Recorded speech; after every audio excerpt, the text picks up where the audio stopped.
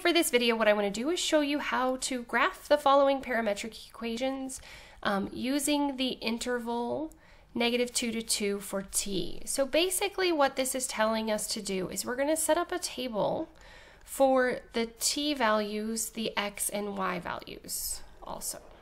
Okay, so what we are going to do is we are going to pick values for t that fall in the given interval.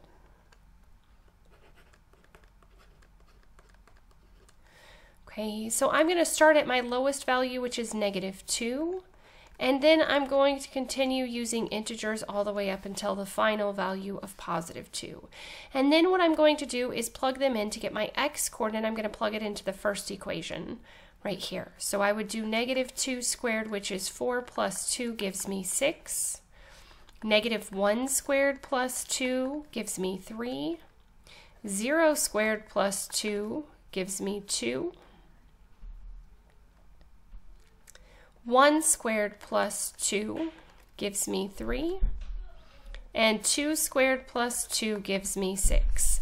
So this is going to be my x-coordinate in my ordered pair for when I go to graph these. So now let's find the y-coordinate. So the y-coordinate is found essentially the same way. We're going to take our t value right here and we're going to plug these numbers in to our y equation. So we would do 2 times negative 2 minus 3, which is negative 7.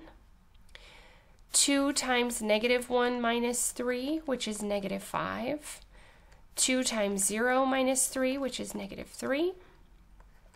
2 times 1 minus 3 gives me negative 1. And then the last one, 2 times um, 2 Minus 3 gives me 4, minus 3 is positive 1. So now what we are going to do is we are going to take and graph the points 6 comma negative 7, 3 comma negative 5, 2 negative 3, 3 negative 1, and 6 1.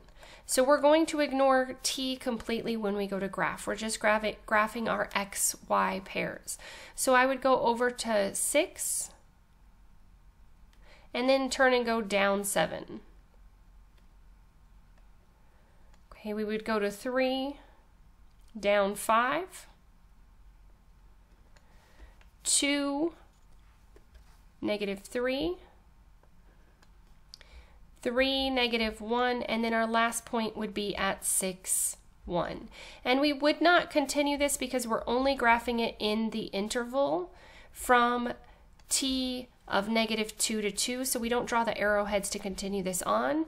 So what we have here is a parabolic function that is opening sideways.